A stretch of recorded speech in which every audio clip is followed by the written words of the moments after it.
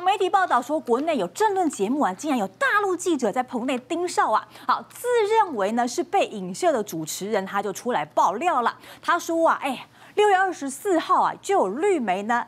点名说啊，这个我们的节目是不是呢？就是应国台办的要求来批评绿营，结果我们的公关两度回应对方说毫无证据、毫无根据，纯属杜撰。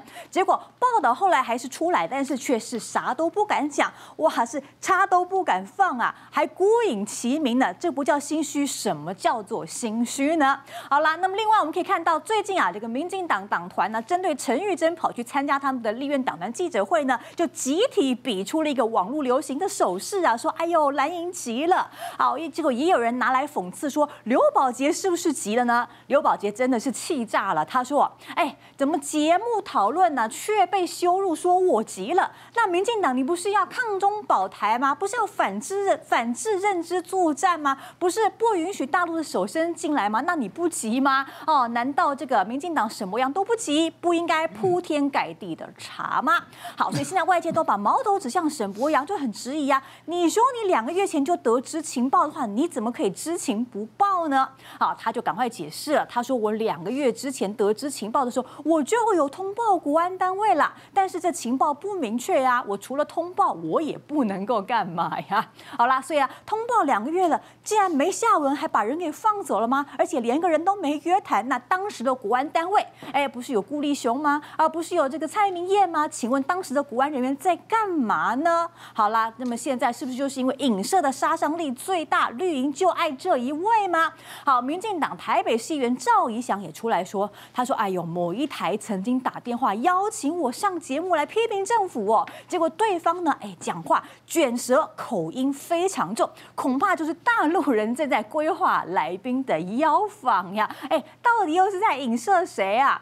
好了，网友也受不了，他说：你是没有听过有些人讲话的卷舌口音很重吗？好了，但是现在就发现到说，是不是现在其实绿营有一套 SOP 呢？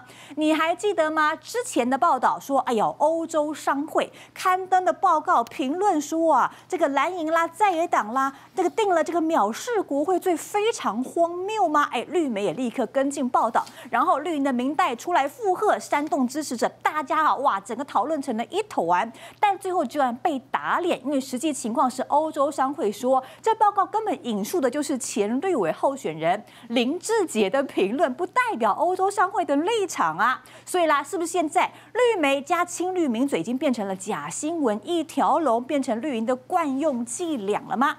好，我们看到，如果说真的是有所谓的匪谍已经渗透到我们的争论节目，这可是非同小可啊！我们的国安人员两个月前就已经知情，竟然没有要求电视台必须要保全证据，而且也没有约谈任何一个人啊！两个月之后，现在说要行政。调查？难道我们的国安单位真的全都是像刘宝杰说的？你们在干嘛？不是应该铺天盖地的查吗？难道在尸位素餐吗？还是是沈博阳的推脱之词呢？因为说了一个谎，要用一百个谎来圆谎吗？立文怎么看？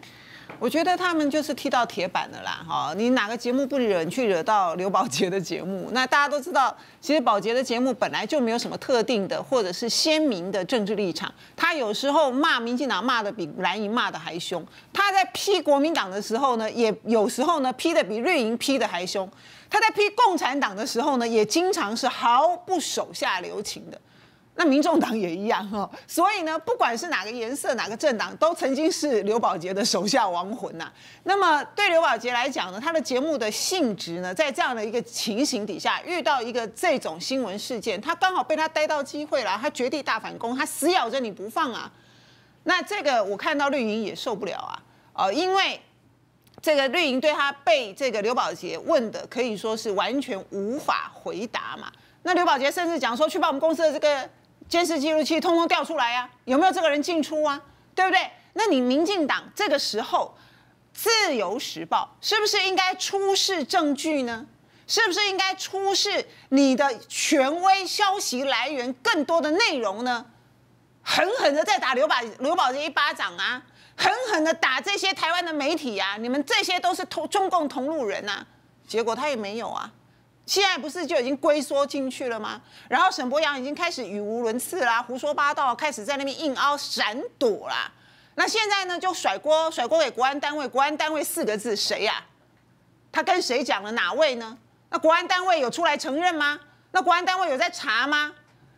我们立法院是可以问啦，但问题是说，我看也问不出个所以然来。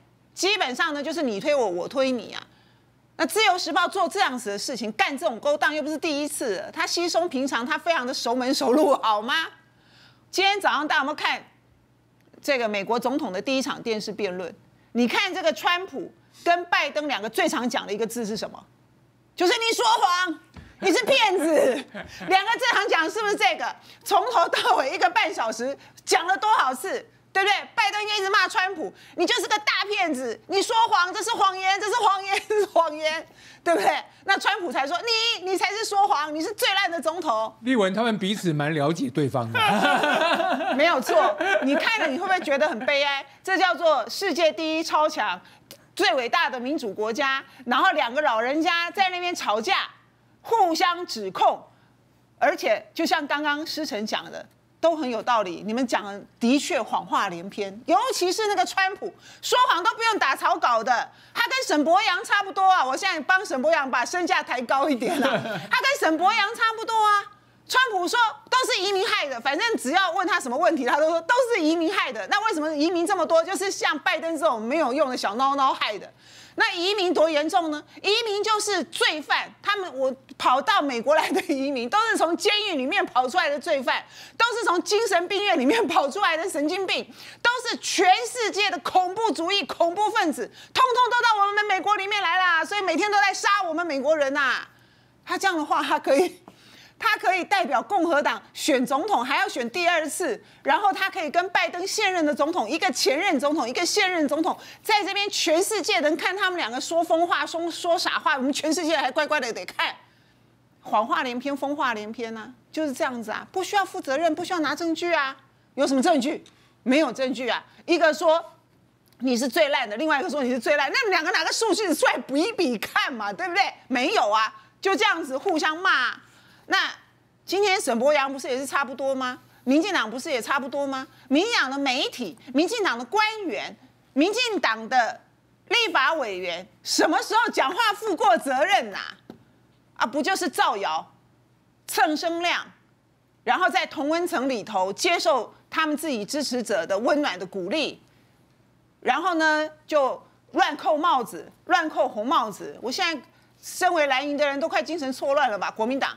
都快精神错乱了吧？有事的时候就说国民党这些通通都是中共同路人。